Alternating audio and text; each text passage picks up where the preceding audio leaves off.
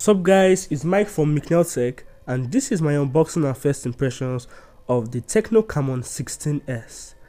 Tecno is getting really fond of releasing various models of a particular phone and for around 60,000 naira which converts to 130 USD, I think what we're getting here is the best of both worlds.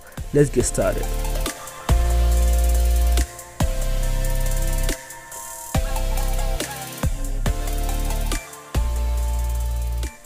So right here we have the Manchester blue colored box with a deeper blue color towards the center.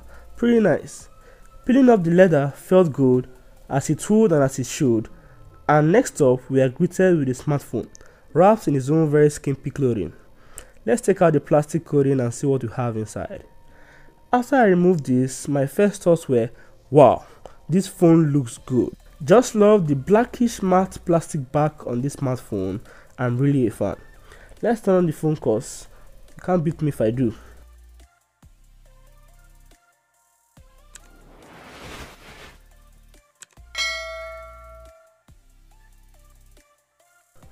The boot up process took long, but I guess it's normal for a new smartphone.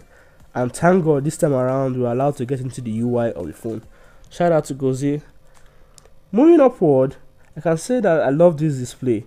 It's really good for a 720p panel and you can hardly tell the difference between this and a full HD screen. Of course, there's no high refresh rate like we have on its eldest brother, the 16 Premier, but the mid-range octa-core processor makes this phone quite snappy. And still on the display, the only obstruction we have is the punch hole camera on the top left of the screen. It's a bit huge, but not as huge as some gigantic notches we still see on some 2020 smartphones. Only difference is that this smartphone is way cheaper. Hmm. Anyway, moving to the cameras, we have a 48 megapixel quad camera setup behind and an 8 megapixel front facing camera.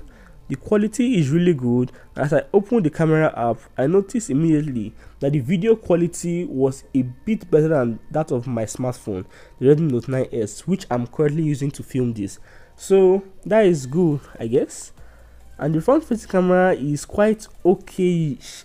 I'm in a poorly lit room at the moment, but if it's anything remotely close to that of the rear, to be a beast of a front facing camera.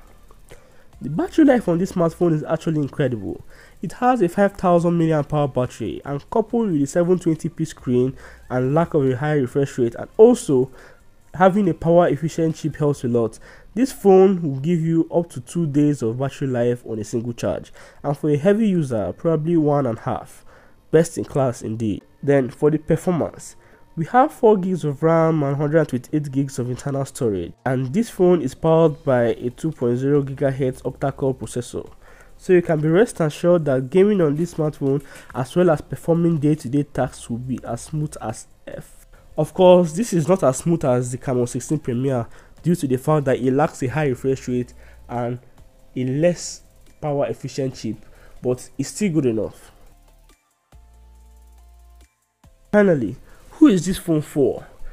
Probably someone that is on a very tight budget but likes to take photos, play games, and also likes storing a lot of files on his smartphone because this phone excels in all these areas.